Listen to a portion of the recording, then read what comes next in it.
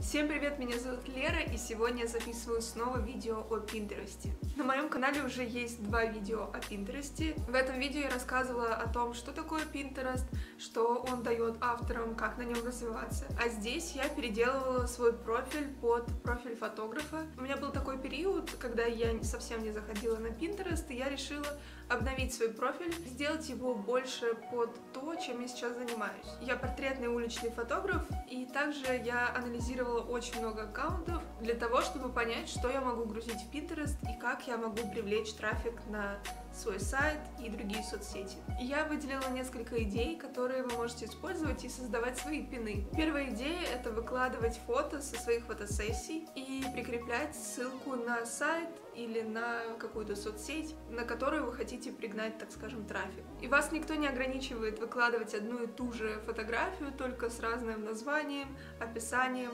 и разными также ссылками. В Pinterest главное пробовать, искать разные ключевые слова, теги и так далее. И из-за того, что вас никто не ограничивает, можно выкладывать несколько таких разных постов. Вторая идея тоже довольно-таки простая. Если вы занимаетесь соцсетями, то вы выкладываете наверняка короткие видео в TikTok, в YouTube, либо еще в одну соцсеть. И вас также ничто не останавливает заливать эти видеоролики в пин-идеи, либо просто в ленту, создавая пин. Тем самым вы привлекаете больше внимания к своему профилю. Я снимаю также видео на YouTube. Мне хотелось сделать какие-то посты, которые будут отсылаться к этим видео. Здесь у меня получилось придумать простую идею. Это фотография, которая цепляет взгляд, также подпись, какой-то вопрос или какая-то боль клиента, как это называется. И далее обязательно логотип, либо ваша какая-то отличительная картиночка, либо название бренда. И обязательно я прикрепляю именно ссылку на YouTube. Тем самым, когда человек видит какой-то вопрос,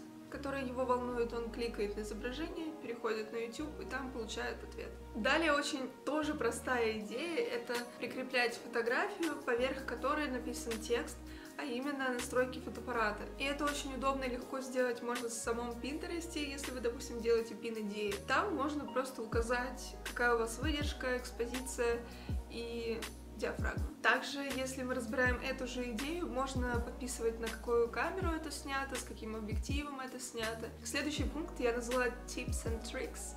И это такие лайфхаки для фотографа. Я уже выставила такую пин-идею, и в прошлом видео это можно было увидеть, как я это делала.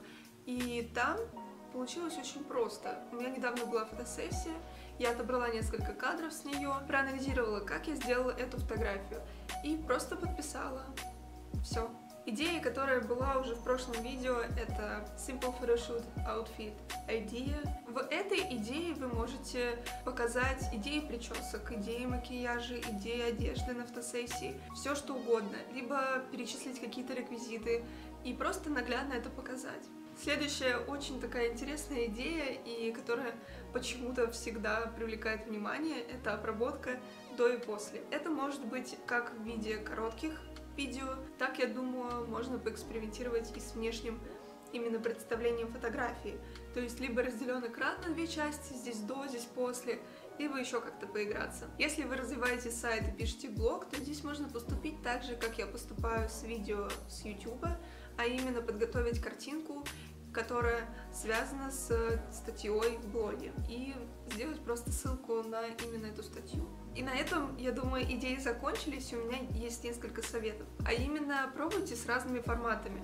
Допустим, из картинки сделайте видео, то есть анимируйте картинку, добавьте на нее текст или наоборот не добавляйте и смотрите, как это откликается у аудитории. Используйте также разные приложения для упрощения процесса, такие как Unfold, больше я не помню. Именно те, которые помогают, допустим, в одной соцсети вести истории, либо выставлять посты, и используйте это все для Пинтереста. И последний совет, который я уже озвучивала, не ограничивайтесь одним бином на какую-то тему. Пробуйте разные заголовки, пробуйте разные картинки. Не бойтесь брать картинки с Unsplash и используйте их спокойно в своем Пинтересте. А на этом все. Спасибо за просмотр. Если у вас есть какие-то идеи для фотографа и не только, пишите их в комментарии. Не теряйте себя и до встречи в следующем видео. Пока!